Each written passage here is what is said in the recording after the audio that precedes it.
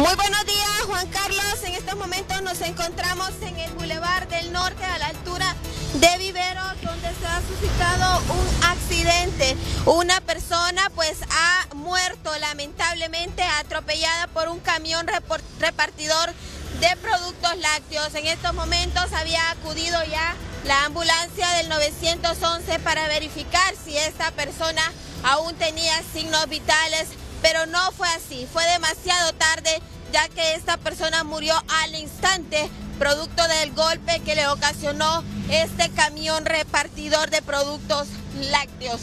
Él intentó cruzar el bulevar y fue embestido, según lo que nos han informado las autoridades aquí en la escena. Los primeros en llegar a la misma fue la ambulancia de Copeco del 911, pero no pudieron hacer nada, Juan Carlos.